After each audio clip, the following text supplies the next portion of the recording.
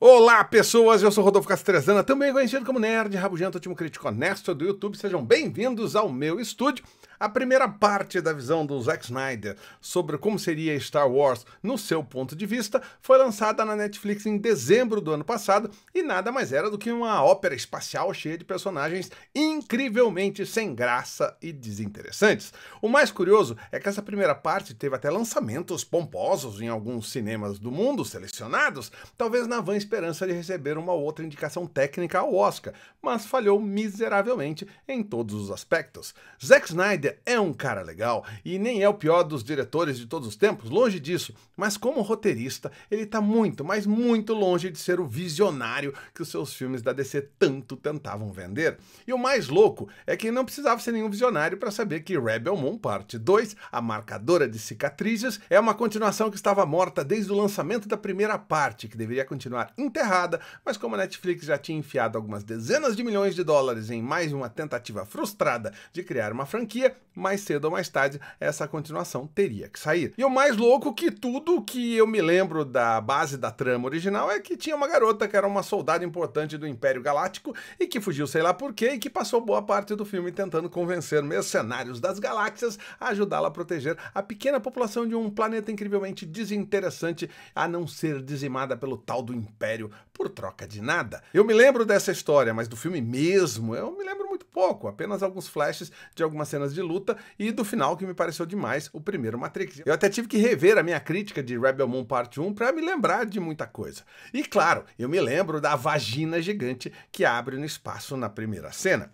Assim, por mais que eu soubesse o que esperar dessa segunda parte, sinceramente, eu andei e caguei para praticamente tudo que eu vi na tela, seja por saber que eu estava vendo uma continuação zumbi, seja por perceber que aparentemente todo mundo envolvido largou mão. A própria Netflix não fez um mísero esforço para tentar salvar um pouco da grana jogada pela janela. A expectativa é a mãe da decepção. Eu tô cansada de falar isso por aqui, então quem sabe eu até poderia gostar de alguma coisa que eu visse na tela, sei lá, são tantos filmes ruins que eu vejo no cinema cinema sabendo que eu vou ver filme ruim, que eu até acabo feliz por receber o que eu estava esperando desde o começo. Mas a marcadora de cicatrizes é tão desnecessária e sem vida que, mesmo sabendo que eu iria ver, não teve como não achar uma porcaria ainda pior.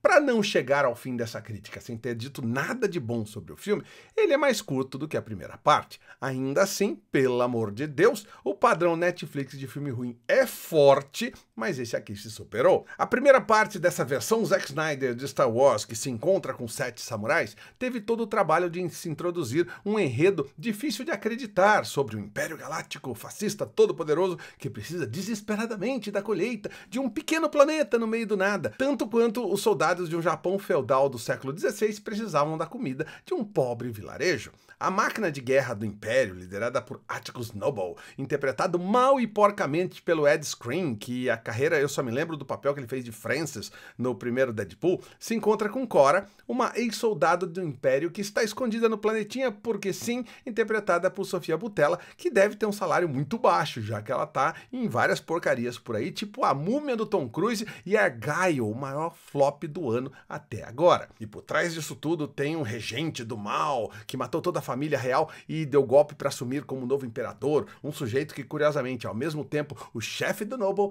e o pai adotivo de Cora.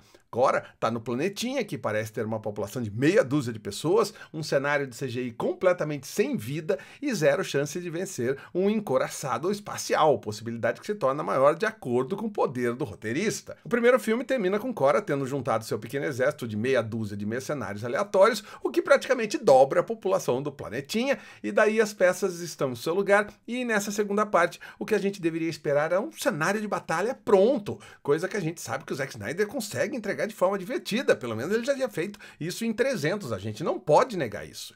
Rebel Moon, parte 2, deveria então ser duas horas de muita cena de batalha, estilizada, coreografada, sangue, pedaço de gente, câmera lenta, mais câmera acelerada, sem se preocupar com enredo, trama, diálogo, no máximo uma meia dúzia de frases de efeito ou piadas para disfarçar o nervosismo dos personagens, sem perder tempo com construção de mundo. Quem é que se importa com isso? Bem, Aparentemente, Zack Snyder se importa. Imagina que ele decidiu usar essas duas horas para encher linguiça com um monte de informações incrivelmente desnecessárias sobre um monte de personagens que a gente não se importa absolutamente nada, colhendo trigo em câmera lenta, com um flashback atrás do outro da história de cada um deles, cheio de camadas que vão te fazer sentir uma vontade inimaginável de cancelar Netflix. Snyder decide usar o tempo para debulhar a história de cada um dos personagens coadjuvantes, como se fosse uma espiga de milho, todos sentados em uma mesa contando praticamente a mesma história sobre como o Império matou todos aqueles que eles amavam, a família, os amigos. Seria muito legal que o Zack Snyder não tivesse levado tão a sério o lance de transformar guerreiros em agricultores. Em alguns momentos parece que a gente está vendo na tela realmente o trigo crescendo e nada mais. Eu achei que eu ia ver batalhas e o que eu vi foi um filme que poderia se chamar Rebel Moon Parte 2, O Agro é Pop. Tarak, o Conan espacial que montou um grifo no primeiro filme, nessa segunda parte serve apenas para contar a própria história e, além disso, não tem muito o que fazer. E tem até uma moça lá que é tipo uma furiosa do espaço que eu adoraria perguntar para o Zack Snyder qual era o papel dela nessa confusão toda. Tem o General Titus, interpretado pelo Jimon Ronson, talvez o melhor ator da trupe toda, que também passa boa parte do tempo contando seu passado, mas pelo menos tem uma boa e rápida cena coreografada de luta quando chega a parte final. A Nemesis a versão Jedi de Baidona, também tem lá o seu momento de luta com suas espadas de luz. E esses momentos são amontoados pela tela, sem nenhuma lógica. Parece que a única intenção é tentar segurar a atenção do espectador tempo suficiente para que ele não desista e mude para ver o filme do pica-pau. Ah, e tem aquele robô, o robô que disseram que, gente, junto com a Cora e com o General Titus, formaria um time quase imbatível, capaz de derrubar o Império. Sim, Nessa segunda parte, é ele que recebe a grande chance de mostrar o quanto ele é motherfucker, e ele mostra. As melhores cenas de ação dessa continuação são deles. Não tem como negar isso. Ó, oh, Olha só, acabei de falar uma segunda coisa boa sobre a marcadora de cicatrizes. A cena de luta do robô realmente é legal. Só que uma coisa leva a outra e agora eu vou precisar retirar a primeira coisa boa que eu falei, que essa parte 2 é mais curta que a parte 1. Um. Realmente, ela é mais curta sim, mas tem tanta enrolação que as suas duas horas parecem intermináveis. E quando a ação começa, com nazistas espaciais disparando raios vermelhos em câmera lenta contra fazendeiros que parecem qualquer coisa menos fazendeiros, você percebe que alguma coisa dentro do Zack Snyder morreu e aparentemente está fedendo. Rebel Moon Parte 2, a marcadora de cicatrizes, vai se tornar um marco na história dos filmes de ficção científica, como um filme que ninguém jamais vai conseguir explicar como ficou tão ruim. E eu tô aqui, eu quase não falei nada do arco por trás de Cora, nossa marcadora de cicatrizes. O filme tira um tempo para contar a tragédia pessoal dela, conta, é alguma coisa até interessante, e teria algo ali para ser usado contra ela se o vilão não fosse totalmente mal escrito e mal desenvolvido. É um arco que poderia até ser interessante em um filme melhor, mas que se dilui no meio de tanta merda. A gente não pode esquecer que existe por aí um novo corte juntando as duas partes de Rebel Moon com umas 5 horas de duração que o Zack Snyder já prometeu que vai lançar como versão do diretor. Pois é, gente, a tortura não acaba nunca.